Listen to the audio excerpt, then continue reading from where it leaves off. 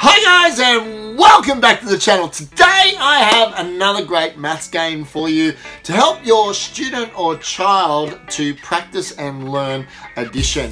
Now if this is the first time you're here, my name is Mr. K. My channel is specifically geared towards talking about anything educational and also talking about activities that can improve learning outcomes for students.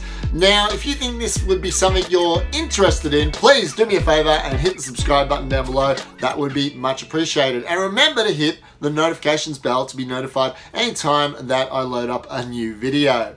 Listen, we've got a bit to get through, so let's get into it. Let's learn, share, and teach.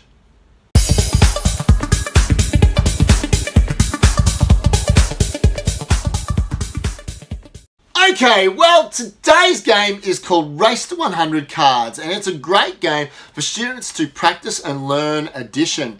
Now, this variation is specifically aimed towards five, six, seven year olds. Now, if you're looking for a different variation of this to actually um, help someone with different learning needs, stick around because after we've talked about how to play the game, we're going to talk about some different variations that are possible.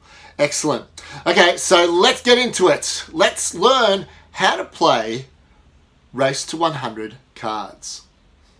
Okay, so to play this game, all you really need is a piece of paper for each player. In this case, I've tried to save on paper. I've got one sheet and I've folded it in half. And this half is mine and the other half is Hannah's. And also I've given us different color markers so it's easy for you to follow how the game's playing or played. Um, also, you need a deck of cards with all of the face cards taken out. So you need to take out the Jack, the Queen, and the King, and also the Joker, and disregard them to one side. Now, aces in this game are one, uh, one point, or have the value of one. So let's get things happening. Um, first player would be me. I turn that over. That's three. So I write down my three there. Then the next one is Hannah. She turns that over. Oops. She's got a nine. And she puts a nine there. Then uh, it's me. So that's a six. So three plus six equals, oops, used the wrong one.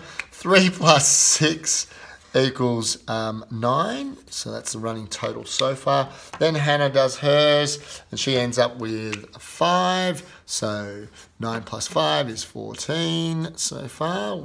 Go Hannah, beating Mr. K. Then Mr. K flips his, he's got a 2. So what we do is we do the running total. So 9 plus 2 is 11. Then it's Hannah's turn. Hannah turns that one. She's got a 5 and that means 14 plus 5 is 19. So continue doing this until one person reaches 100.